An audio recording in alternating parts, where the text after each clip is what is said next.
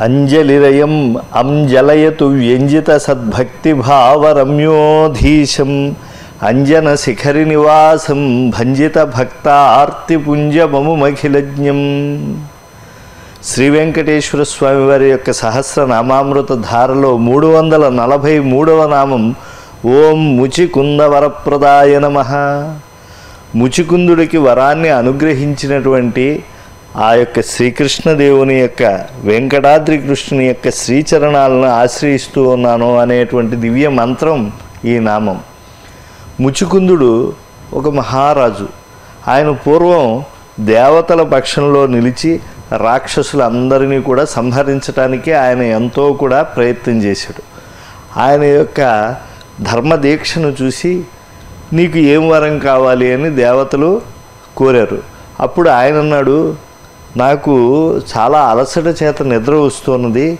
నేను నిద్రపోతూ ఉంటాను. నేను నిద్రపోతూ ఉంటే నన్ను ఎవరు లేపుతారో వాడిని నేను భస్మం చేసేట్లుగా నాకు శక్తినివ్వండి అన్నాడు. అంటే తన నిద్రాభంగం ఎవరు కోరుకోకుండా ఉండాలి అని చెప్పి. అయితే ఒకానొక సమయంలో కాలయవనుడు అనేటువంటి ఒక ధూర్తుడు కృష్ణుణ్ణి తరువుకుంటూ వచ్చాడు. అయితే కృష్ణుడు అతని నుంచి తప్పించుకుని చాకచక్యంగా ఒక చోట ఉండిపోయాడు. ఆ సమయంలో ఈ యొక్క ముచుకుందుడిని కృష్ణుడు ఇలా పడుక్కున్నాడేమో అని చెప్పి భావించి ఆ ముచుకుందుడిని కాలితో కాలయవనుడు తన్నాడు. వెంటనే ముచుకుందుడు తను దేవతల ద్వారా పొందినటువంటి వరశక్తి చేత ఆయన్ని చూశాడు. వాడు భస్మం అయిపోయాడు. ఆ తర్వాత కృష్ణుడిని దర్శించాడు. కృష్ణుడిని ముచుకుందుడు బాగా ప్రార్థన చేశాడు. ప్రసన్నుడైపోయాడు పరమాత్మ. ఏం వరం కావాలి అన్నాడు. గొప్పగా కృష్ణదేవుణ్ణి స్తోత్రం చేసినటువంటి ముచుకుందుడు స్వామి నువ్వు ఈ సమస్త జగత్తుకి కూడా భూతయోనివి. నీ యొక్క ఆలోచన ద్వారానే ఈ యొక్క సృష్టి అంతా కూడా ఏర్పడింది. వీళ్ళందరినీ కూడా చేతనాచేతనంగా ఉండేటువంటి ఈ ప్రకృతిని అంతా కూడా నువ్వు పరిరక్షించేటువంటి వాడు. ఇంతటి జీవరక్షకుడైనటువంటి నువ్వు నాకు దర్శనం ఇచ్చావు అటువంటి నిన్ను కోరుకుంటూ ఉన్నాను నాకు పునరావృత్తి రహితమైనటువంటి మోక్షాన్ని ఇవ్వు అని. నాయనా నువ్వు ఒక రాజుగా ఎన్నో క్రూర జంతువులను కూడా వేటాడు అరణ్యాల్లో వేట అనేటువంటి ఉత్సవంతో. కనుక ఈ క్షాత్రోచితమైనటువంటి జన్మలో నీకు ముక్తి అనేటువంటిది రాదు. తర్వాత నువ్వు బ్రాహ్మణుడివై జన్మిస్తావు. సర్వభూతదయాపరుడివిగా నువ్వు జీవిస్తావు. అటువంటి అద్వేష్ట సర్వభూతానాం మైత్ర కరుణ ఏవచ అన్నట్టుగా ఉండేటువంటి నీ యొక్క రూప శక్తి చేత నీ యొక్క ధర్మ చింతన చేత మోక్షం తనంత తానుగా నిన్ను వలుస్తుంది అని చెప్పి వరాన్ని ఇచ్చాడు. అంతటి పరమ ప్రసన్నుడు పరమాత్మ వెంకటాద్రి కృష్ణుడు. కనుక ముచికుందుడికి వరాన్ని ఇచ్చినటువంటి ఆ ముకుందుడిని మనం ఎప్పుడూ విడిచిపెట్టకూడదు అనేటువంటి దివ్యమైనటువంటి అనుగ్రహాన్ని భగవంతుని పట్ల మనకి విశ్వాసాన్ని కటాక్షించేటువంటిది ఈ నామం. ముచికుందుడు స్వామి ద్వారా వరం పొందాడు మోక్షాన్ని పొందాడు. ఆ జన్మలో కర్మ ప్రతిబంధకమైన తదనంతరం వచ్చినటువంటి జన్మలో పొందాడు. కనుక కర్మ ప్రభావాన్ని భగవంతుడు ఎంతో కొంత దాన్ని శాసించిన కర్మకు అతిక్రమించినటువంటి ప్రార్థన ద్వారా ఆ యొక్క జన్మ కర్మ పరంపరల నుంచి ఆయన విరువడి శాశ్వతమైనటువంటి మోక్షాన్ని పరమాత్మ ద్వారానే ఆ ముచికుందుడు పొందాడు. ఆ మోక్షాన్ని ఇవ్వగలిగినటువంటి పరమపురుషుడు ఒక్క శ్రీనివాసుడే. ఇంకెవ్వరికి కూడా మోక్షాన్ని ఇవ్వలేనటువంటి స్థితే. అందుకే సృష్టి అంతటికీ జనకుడు స్థితికర్త ఆ యొక్క లయకర్త అయినటువంటి ఆ శ్రీనివాసుని ఆశ్రయించి ముచికుందుడు ఎలా ధన్యుడయ్యాడో మనం కూడా అలా ధన్యులం అవ్వాలి. ఈ జన్మకు కాకపోతే త్రిభిర్మాసై త్రిభిర్వర్షై త్రిభిర్దే దేశై త్రిభిర్దినై అత్యుత్కటై పుణ్యపాపై అని చెప్పి చెప్పారు. మరి అత్యుత్కటమైనటువంటి పుణ్యపాపములకి కర్మఫలాలు అనుభవించాలి. ఈ కర్మఫలాలు పోవాలి అని అంటే పరమాత్మని మనం సత్కార్యముల చేత ఎప్పుడూ కూడా ఆరాధన చేయాలి. ఇందులో భూత దయ లేనటువంటి జీవనం ద్వారా మోక్షాన్ని పొందలేకపోయాడు. అనేటువంటి సత్యాన్ని కూడా మనం పట్టుకోవాలి. సర్వభూతములు కూడా కష్టపడుతూ ఉంటే విలవిలవాడిపోయేటువంటి మనస్తత్వం మానవుడే కలిగి ఉండాలి. లేకపోతే మానవుడే జన్మించినటువంటి తరువాత ఆ మానవ జన్మకు ఒక పరమావధి అయినటువంటి లక్ష్యము అనేటువంటిది ఉండదు. ఆ సంలక్షణం మనం పొందాలి అనేటువంటిది ఈ ముచికుందుని యొక్క వృత్తాంతం ద్వారా మనకి తెలుస్తున్నది. భగవంతుణ్ణి ఆరాధించి ఆశ్రయించాలి అని అంటే సర్వభూతముల యొక్క హితాన్ని కోరుకోవాలి. ఈ సత్యాన్ని మనకు ప్రహ్లాద బాలుని యొక్క వృత్తాంతంలో కూడా తెలుస్తుంది. తండ్రి నువ్వు ఇన్ని జీవకోట్లను బాధపడుతూ ఉన్నావు. ఇలాంటి బాధను పెట్టేటువంటి తత్వాన్ని కలిగి ఉండకూడదు. సర్వభూతముల పట్ల దయ ఉండాలి అని. ఆ యొక్క తత్వాన్ని భగవంతుని యొక్క వృత్తాంతాల్లో భాగవతుల యొక్క వృత్తాంతాల్లో మనకి అనుబంధమే తెలుస్తూ ఉంటుంది. ఈ ముచికుందుడు కూడా స్వామి నుంచి కై ఆ యొక్క మోక్షం అనేటువంటి వరాన్ని పొందటానికి కొంతకాలం ప్రతిబంధకమైంది భూతదయ లేకపోవటం. కనుక ఓ ముచికుంద వరప్రదాయ నమ అనేటువంటి నామాన్ని పట్టుకుంటే భగవంతునికి మనకు మధ్య ఒక యవనికిలా ఈ యొక్క భూత శిక్షణ అనేటువంటిది ఉంటుంది. కనుక భూతదయ ఉంటే పరమాత్మను మనం చేరుకోవచ్చు అనేటువంటి సత్యాన్ని గ్రహించాలి. శ్రీ వెంకటేశ్వర స్వామి వారి యొక్క సహస్ర నామామృత ధారలో మూడు వందల నలభై నాలుగో నామం ఓం సాల్వసేవిత దుర్ధర్ష రాజస్మయ నివారణాయ నమ. సాల్వుడు అనేటువంటి రాజును సేవించినటువంటి దుర్మార్గులైనటువంటి రాజన్యులందరినీ కూడా బాగా వారణ చేసినటువంటి వాడు. అంటే వారిని అందరినీ కూడా సంహరించినటువంటి వాడు. దధిఘోషుని యొక్క కుమారుడు ఈ యొక్క సాల్వుడు. దమఘోషుడు అనేటువంటి పేరు కూడా ఉంది వాడికి. అంటే ఈ యొక్క దమము అంటే ఇంద్రియ నిగ్రహం. ఇంద్రియ నిగ్రహం లేకుండా ఉండేటువంటి వాడు ఆ దమఘోషుడు అనేటువంటి వాడు. అటువంటి వాని యొక్క పుత్రుడు సాల్వుడు. శిశుపాలుణ్ణి సంహరించాడు సుదర్శన చక్రం చేత శ్రీకృష్ణమూర్తి ధర్మరాజు చేసినటువంటి రాజశివి యాగంలో అని తెలుసుకున్నటువంటి సాల్వుడు అకారణమైనటువంటి వైరాన్ని కృష్ణుని యందు పెంచుకుని కృష్ణుణ్ణి ఎలాగైనా సంహరించాలి అని చెప్పి ఎంతో గణాలని కూర్చుకుని ఆయన కృష్ణుణ్ణి జయించాలి అని అనుకున్నాడు. అయినా కూడా కృష్ణుణ్ణి మనం జయించలేం. ఎందుకంటే ఆయన అప్పటికే ఎంతోమంది రాక్షసుల్ని సంహరించారు. మనం ఏదైనా ఒక దివ్య బలాన్ని పొందాలి అని చెప్పి పరమశివుని కోసం చాలా ఘోరమైనటువంటి తపస్సు చేశాడు ఈ సాలుడు పరమశివుడు ప్రత్యక్షమయ్యాడు.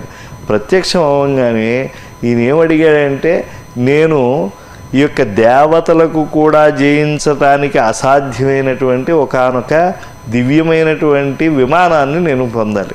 ఆ విమానంలో కూర్చుంటే నేను దేవతలు ఎవళ్ళు కూడా నాతో పోరాడలేకుండా ఉండాలి. అటువంటి విమానాన్ని కామరూపి అయినటువంటి విమానాన్ని నాకు ఇవ్వు అని అన్నాడు. సరే అని చెప్పి అనుగ్రహించాడు.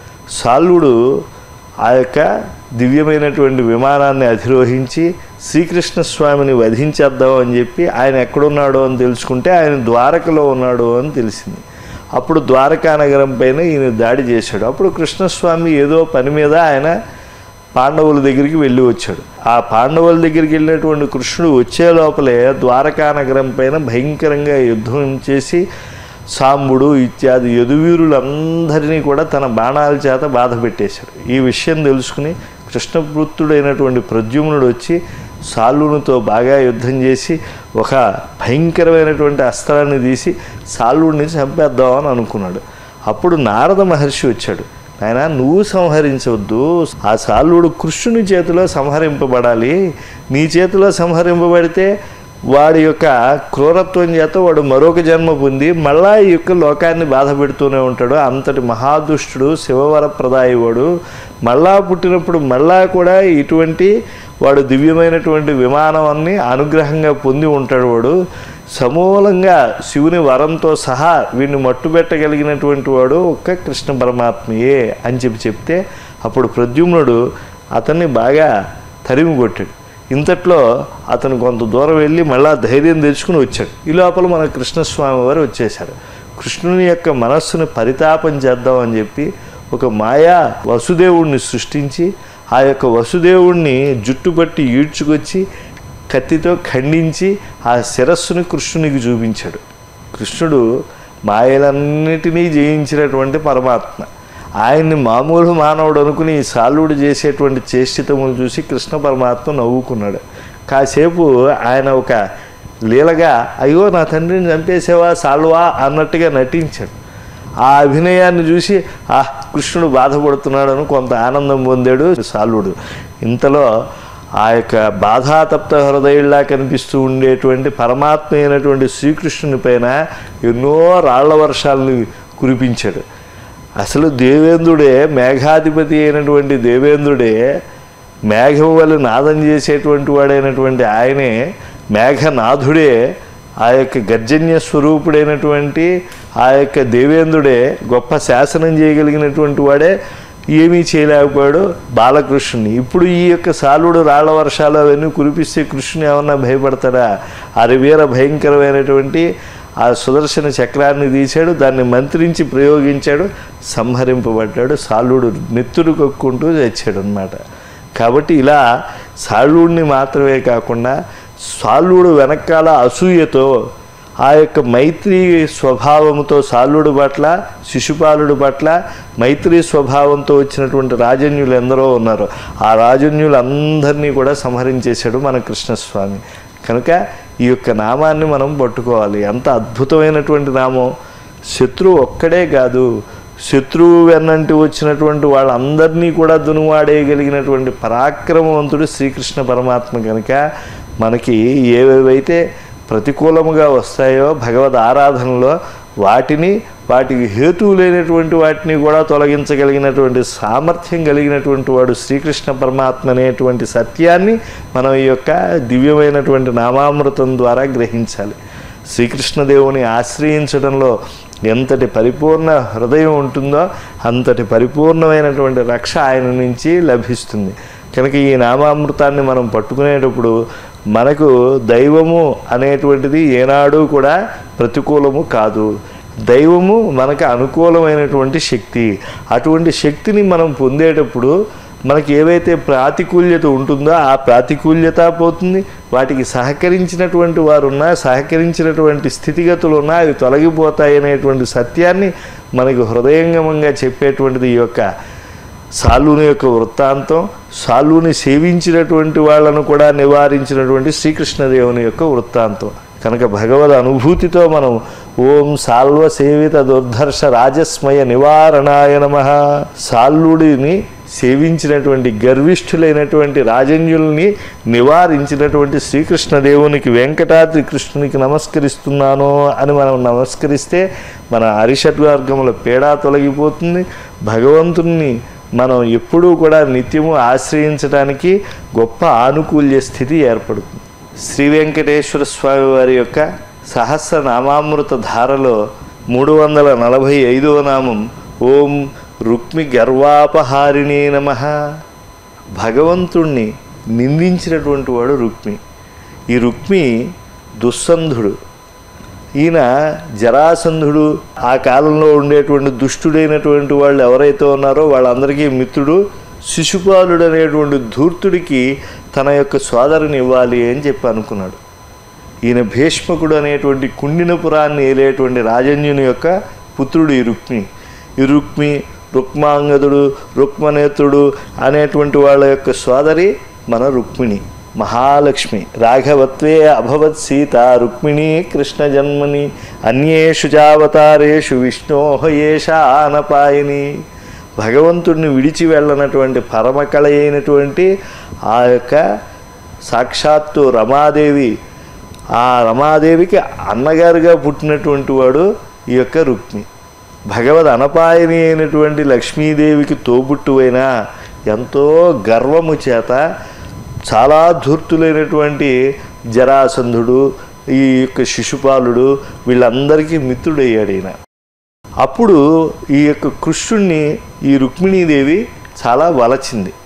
సాక్షాత్తు మహాలక్ష్మి కళ ఆవిడ ఎందు ఉన్నది కనుక బంధువులందరూ కూడా శేముషి సింధువులై ఆయన పరమాత్మ శ్రీకృష్ణదేవుడు సాక్షాత్తు ఈమె రుక్మిణీ లక్ష్మి వీరి యొక్క సమాగమం జరగాలి వీరి కళ్యాణం లోక కళ్యాణ కారకం అవుతుంది అని చెప్పి బంధువులందరూ కూడా చాలా గొప్పగా తీర్మానం చేస్తూ ఉంటే శముషి సింధువులైనటువంటి వారి యొక్క మాటలు విని ఆ యొక్క తండ్రి తల్లి అందరూ కూడా పులకించిపోతే చాలా బలగర్వం కలిగినటువంటి ఈ యొక్క రుక్మిణి మాత్రం ఎవరూ కాదనలేకపోయారు. ఈయన ఎట్టి పరిస్థితుల్లో ఈ రుక్మిణి ఎంతగా కృష్ణుణ్ణి వలచిందో ఆయనకి తెలుసు. ఏని గుణంబులు కర్ణేంద్రియంబులు శోక దేహతాపంబులు తీరిపోవు. ఇలాంటి ప్రార్థనలు వింటే రుక్మిణీదేవి భౌతికంగా కృష్ణుని యొక్క రూపాన్ని విని ప్రేమించినటువంటిది కాదు. మామూలుగా మనం ముందుగా వింటాం. విన్నటువంటి ఆ గుణముల చేత గుణిని మనం ఆదరించడం అనేటువంటిది ఎప్పుడూ కూడా సహజంగా జరుగుతుంది లోకంలో. అలాగే రుక్మిణీదేవి బంధువులందరి ద్వారా కూడా కృష్ణ పరమాత్మ యొక్క బాల్యము నుంచి చేస్తూ ఉండేటువంటి ఆ యొక్క అనన్యమైనటువంటి ధర్మమునకు సంబంధించినటువంటి అన్ని లీలల్ని వినింది. పరమాత్మ ఆ గోప గోపికలకి ఎంత ప్రీతితో ఆయన రక్షణ కల్పించాడు. ఓ గిరినెత్తాడా నా స్వామి? కూలయాపేడు అనేటువంటి ఓ ఏనుగుని చంపేశాడా నా స్వామి? ఆయన ముష్టి యుద్ధంలో మహామల్లులను కూడా జయించడా? అంతటి ఆశ్రిత బంధువు అయినటువంటి ఆయన్ని ఆ రాక్షసుడైనటువంటి ఆ పూతన లేదా తృణావర్తుడు వీళ్ళందరూ ఎందుకు చంపాలనుకున్నారు అని చెప్పి బాధపడేదిట. ఆ రాక్షస రాక్షసీ గణాల యొక్క బాధ పొందినటువంటి కృష్ణుని పట్ల జాలి కృష్ణుని యొక్క గుణముల పట్ల ప్రీతితో ఆమె పొంగిపోతూ ఉండేది. అటువంటి ఆ చాలా మత్తం వేణి అంటారు. చాలా విస్తారమైనటువంటి జడ కలిగినటువంటి రుక్మిణీదేవి ఎంతగా తన జడ ఆ యవ్వన గర్వం చేత ఆవిడకి పెరుగుతూ ఉందో కృష్ణునిలో అంతగా ఆ యొక్క ప్రేమ భావన పెరిగిపోతుంది. అంటే కృష్ణుడు నల్లగా ఉంటాడు ఆమె యొక్క కేశపాశము నల్లగా ఉంటుంది. ఇలా పోతన మహాకవి ఇలాంటి మహానుభావులు భాగవతాది గ్రంథాల్లో దర్శించి పొంగిపోయారు ఆ రుక్మిణీదేవికి. ఆ యొక్క శ్రీకృష్ణ పరమాత్మకి మధ్య ఉండేటువంటి ఆ దివ్యానుబంధాన్ని. అయితే ఒక భాగవత స్థితిలో ఉండేటువంటి వారికే ఆ లక్ష్మీనారాయణుల యొక్క అనుబంధం తెలుస్తుంది. భౌతికమైనటువంటి దృష్టితో చూడలేదు ఈ రుక్మి. కనుక తన మిత్రుడైనటువంటి వాడికి ఇవ్వాలి అని చెప్పి అనుకున్నాడు శిశుపాలుడికి. కాబట్టి ఓ సింహం లాంటి కృష్ణ నువ్వు రావాలి అని చెప్పి ఆ తల్లి కోరుకుంటే ఈ రుక్మి ఆ దివ్యమైనటువంటి రాక్షస వివాహం. అంటే మిగతా వాళ్ళకి ఇష్టం లేకపోయినా వధూవరులు ఇద్దరూ కూడా వాళ్ళు వెళ్ళి పెళ్ళి చేసుకోవటానికి రాక్షస వివాహం అంటారు. అలా రాక్షస వివాహంలో రుక్మిణీదేవిని తనను ప్రేమించేటువంటి ఆవిడ్ని తన రథంపై కూర్చోబెట్టుకుని శ్రీకృష్ణ పరమాత్మ ద్వారకకి తీసుకువెడుతూ ఉంటే ఈ యొక్క కుండినపురం నుంచి ఈ యొక్క రాక్షసీ గణములు అన్నీ కూడా అడ్డుపడ్డాయి. రుక్మి వర్గం కానీ ఇంకా ఈ యొక్క కంసునికి చెందినటువంటి వాళ్ళు వీళ్ళందరూ కూడా. అప్పుడు ఈయన బలరాముడు యొక్క అనుజ్ఞ గైకుని రుక్మిని సంహరించకుండా ఆయన తన కోపాన్ని నివారించుకుని ఆ రుక్మిని విరూపిని చేసేసాడు ఆయన యొక్క జడను కత్తిరించేసాడు ఆయన బాగా విస్తారంగా కేశపాశాన్ని పెంచుకునేవాడు. అలాగే ఆయన మీసాలను కూడా సగం తీసేశాడు.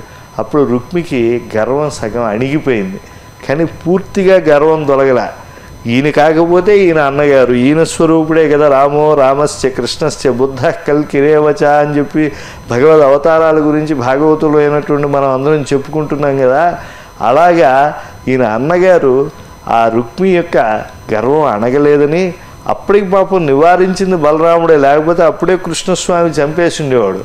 తర్వాత ఈయన కుమార్తెని ఆ యొక్క ప్రద్యుమ్నుడికి ఇచ్చి ఆ మిషతో బలరాముడిని జోదానికి పిలిచి జోదంలో బలరాముడు గెలిచినా బలరాముడు ఓడిపోయాడు అని తన వాళ్ళ చేత వెకిలిగా నవ్వుతూ అరుస్తూ ఆర్భాటం చేస్తూ ఉంటే తీవ్ర క్రోధం కలిగినటువంటి వాడు బలరాముడు. ఆదిశేష స్వరూపం ఆయన. ఒక రకంగా భావించాలంటే అటువంటి ఆదిశేషుడు మళ్ళా స్వామి వేరు కాదు ఇద్దరూ అనంతులే.